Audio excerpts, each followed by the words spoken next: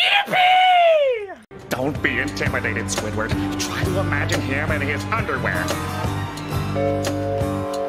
Oh no, he's hot! Hi, Gil. Um, can I get... Pound of honey ham. Cut it thin. Oh, excuse me. I believe I was next. A step aside, Lily.